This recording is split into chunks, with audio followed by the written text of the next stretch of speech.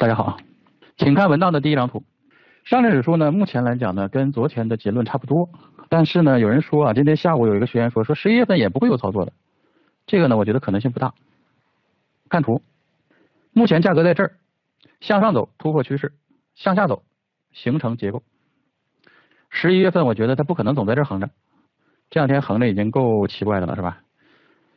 它不可能总在这横着，所以十一月份大概率是有操作的。十一月份啊。稍安勿躁，就是耐心等待就可以了啊，就可以了。今天我们重点讲一下上证五零指数，请看文档的第二张图。上证五零呢，就这一波呢是有一点点加速的意思啊。我们上一波买是因为大家注意啊，是因为前面周线降速，然后日线又降速，它有降速啊。那这一波回调之后呢，到目前为止就这一块它是有点加速的啊，这一块是有点加速的。在降速的过程中。咱们是不知道未来会加速的，注意啊，是不知道未来会加速的，所以呢，这个既来之则安之嘛。近期呢是走的很弱啊，上证五零指数呢比其他的指数走的都弱，核心资产类的股票呢一顿下跌是吧？那么我们前面说啊，它已经跌了十九个月了，最开始我们买是因为它便宜对吧？它跌了十九个月，比其他的指数跌的多了，跌的多很多，所以呢，从这个超跌反弹的角度来讲呢，买跌的多的。然后呢，它又降速，又有周线的底部结构，又有月线的底部序列是吧？但是现在周线的底部结构也没有出现钝化消失，周线的钝化还在。今天呢，基本上是全周期了啊。上一次周线底部结构的时候呢，小周期是没有的，只有周线。这一次呢，全周期啊，全周期，三十分钟、六十分钟、九十分钟、一百二十分钟，日线、周线、月线还有个序列低时啊，月线还有个序列低时。但是这个日线呢，还是有加速的迹象，有加速的迹象。所以这一波呢，就先看这个分钟周期能不能形成结构。最主要就是下周一啊，下周一，但是形成结构我们也不操作了。就大盘股买四成仓就算就算就算很多了。那么但是现在有一个大小盘股的这个大小盘股的平衡问题啊，这个将来等小盘股呃出现低点的时候，我们再去做平衡。但是大盘股出现低点的时候呢，就是不操作了，不操作了。但是就这个低点要比上次的低点好，不是说位置低啊，上次呢只有周线和月线的序列，周线的结构和月线的序列，这个呢是全周期结构，从三十分钟。到周线啊，全周期结构，我们管原来管这种叫做海天一色是吧？现在也很少见了，很少见了。好，看一下一百二十分钟，一百二十分钟钝化加八，这下周一很关键，就在于下周一出现钝化加九，时间是下周一的中午啊，钝化加八，下周一的中午啊，下周一的中午，一百二十分钟级别也比较大啊，目前来看级别还可以。九十分钟啊，九十分钟不是钝化加九啊，钝化上面有九。但是有酒的时候，它还没钝化；钝化的时候，它没酒了，只有故事了，没有酒了。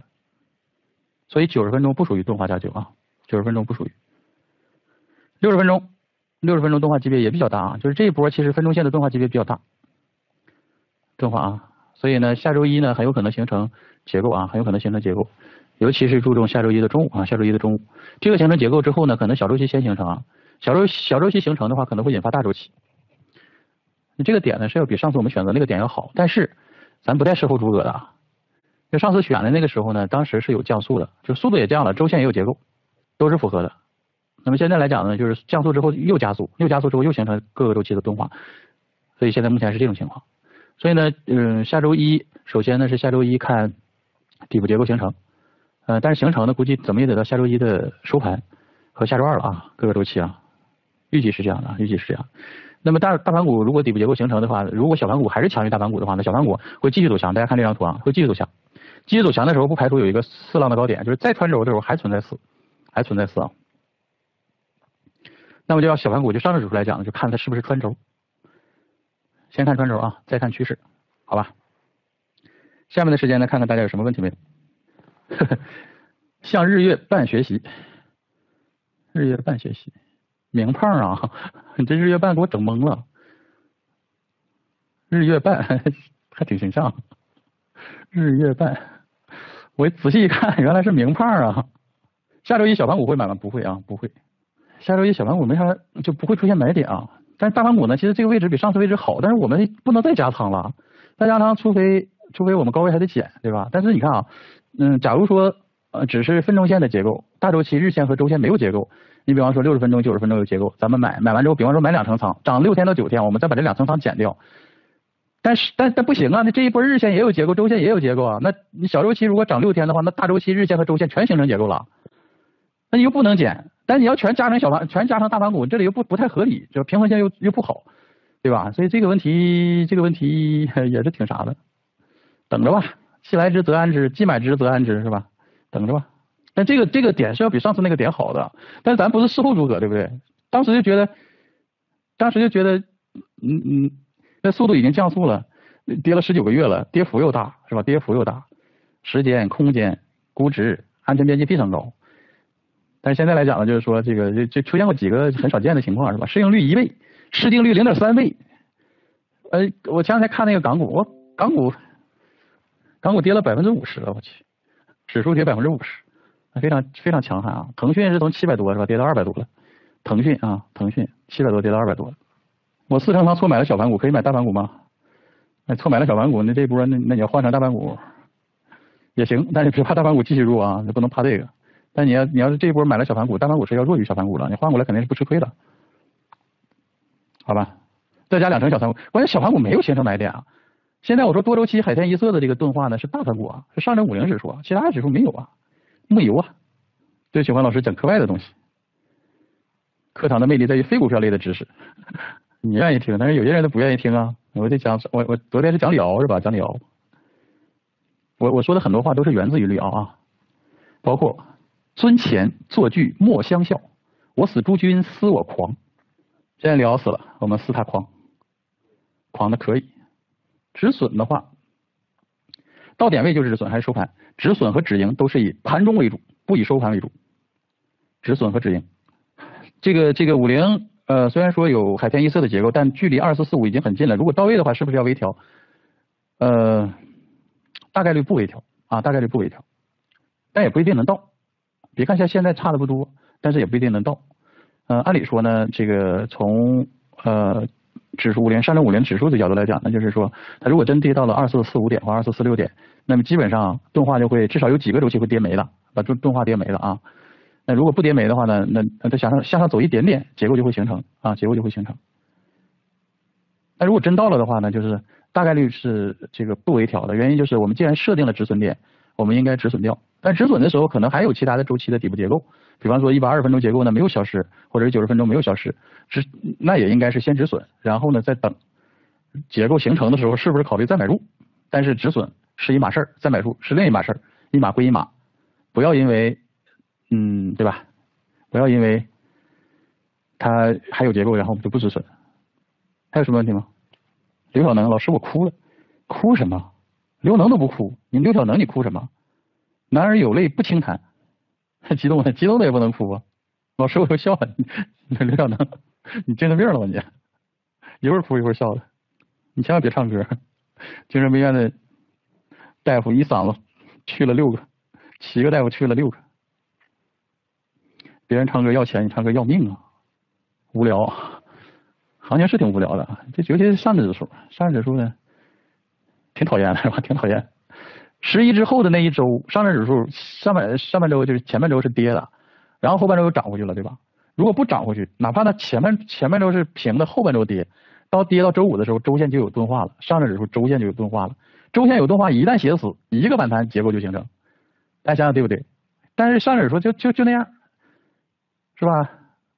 周线盘中出现钝化，然后呢就直接就消失了，到周五的时候消失了。现在周线也没有钝化，啥也没有，对不对？啥也没有。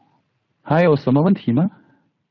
所以现在上证指数呢，呃，突破趋势或者是向下的形成结构，现在中间，所以目前的一个情况来讲，就是十一月份大概率是有操作的啊，不是没有操作的，是有操作的。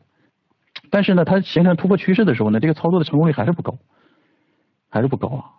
结构的成功率是高的。如果向下呢，形成这个结构带结构的低点，第一个结构级别大呀。你看那一百二十分钟，那上证指数如果向下的话，一百二十分钟结构级别是很大的，结构级别很大，然后还还得带一个周线的底部钝化。如果一百二十分钟形成结构的话呢，就有十二天的市场的上升，十二天市场的上升足可以把周线的底部钝化给它弄形成了。注意啊，弄形成了。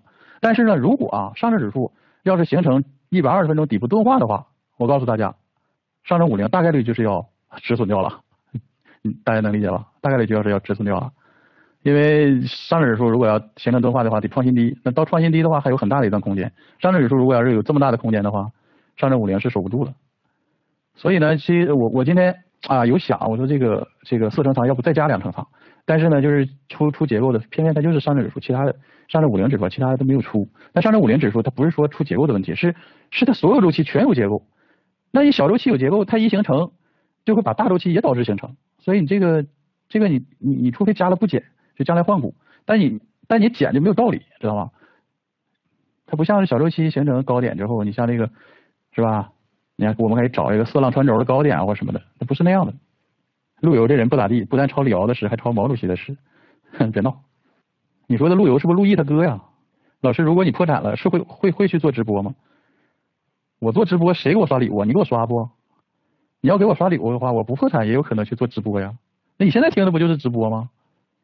露脸的才算呢，我又没有颜值，本来想刷点的是吧？一看脸不刷了，感谢榜一大哥，感谢榜一大哥的嘉年华和火箭，我我提前练一练啊，练一练，到时候你给我刷点，多少的是那么个事儿，有钱的捧个钱场，没钱的捧个人场，南来的北往的去往佳木斯香港的，火车你靠拉力，登山你靠腿力，打麻将你看运气，看看你有没有财力，有没有运气，都说你有个搂钱的耙子，看看你有没有个装钱的匣子。怎么样？做直播可以不？气质拿捏的死死的，嗯，气质这块儿还行啊，气质这块儿还行，不是气质啊，是气场，气场这块啊。还有什么问题吗？问问问行情啊，我这个被你们拐的拐着的，一会儿又拐的偏了。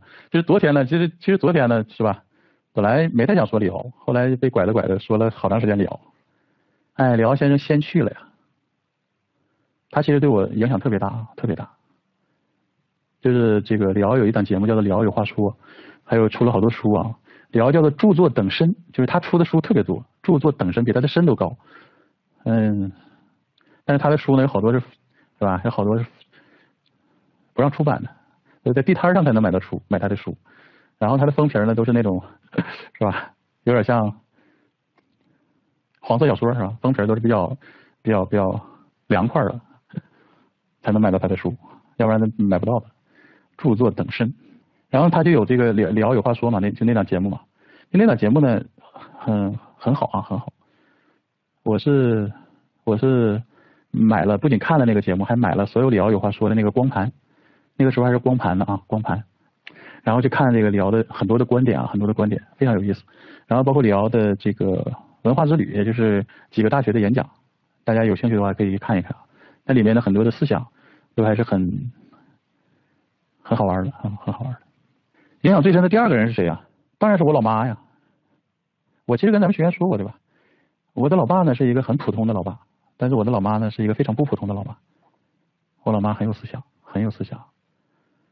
我老妈反正是大家闺秀，是吧？小时候就就呃怎么说呢？就就她那个年年代的人啊，就女孩子都都不不读书的，但是。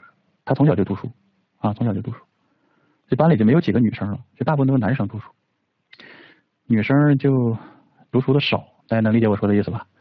也就是家庭条件还算比较好，所以才有书读嘛，有读书读嘛。